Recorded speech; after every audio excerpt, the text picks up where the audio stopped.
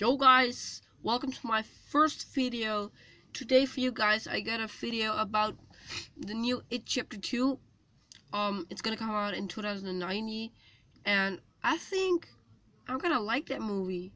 Andy Muschietti already said it's gonna be a scary movie, and the first chapter of it, I really liked it, but I didn't thought it was scary or something. So I'm gonna talk about the new Losers Club cast and say if I like them or not, and what would I, who would I pick. So let's begin. Okay, my first one is Bill Denbrough. He's he's gonna be played by J, by James McAvoy. I like the choice, but if I could choose, I will pick. Um, um I know, I don't know. There's this actor. I he plays in the Insidious movies. As he plays in the Insidious, uh, uh, the first movie Insidious. He's like the father of that little kid, and he plays in the other movie, the Annabelle, I think, and what what's the name of the movie? No, I don't know. But I think that guy will play him pretty good. But when I saw J- James McAvoy, I was like, oh my gosh, this is very good. So yeah, that's the first one. Um, next one, Stanley Uris. Stanley Uris is gonna be played by Andy Bean. Um, I think it's a pretty good choice, but there's one problem I have. Andy Bean has blue eyes. The eyes of Wyatt Oleff are brown. But if I pick one, I will. I think I will pick. Um. Hmm. That's a hard one. Um. Uh. I think. Um. I don't know. I think Andy Bean is just the best for Stanley Uris. So that's nothing I can tell.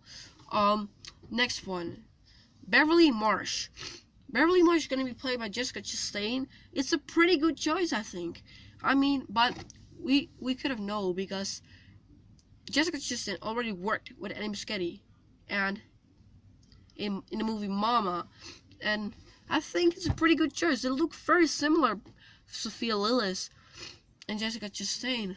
So yeah, I wouldn't pick someone else. Okay, next one, Ben Hanscom. Ben Hanscom. Ben, Hams- ben Hanscom is going to be played by Jay Ryan, but it's a pretty good choice. They look very similar, but if I will pick someone, it will be Chris Pratt. I love the actor. I love his movies. I love Jurassic World 1 and 2. I love the Avengers Infinity War. I love the Guardians of the Galaxy movies. But there's only problem what I have with Chris Pratt. How's Pennywise gonna scare Chris Pratt? I mean, I don't know. But I will pick Chris Pratt, I think. Okay, the next one. Richie Tozier. Richie Tozier is going to be played by Bill Hader, and I think it's a pretty good choice. I didn't watch any movie of Bill Hader, but they look very similar, so I guess it's going to be very good. Um, my next one is Eddie Kaspbrak. He's going to be played by James Ransone. James Ransone played in the Sinister movies, and it's a pretty good choice, I think. They look very similar, but if I will pick one, I will pick. I think I will actually pick Tobey Maguire. You know, the one from the old Spider-Man movies.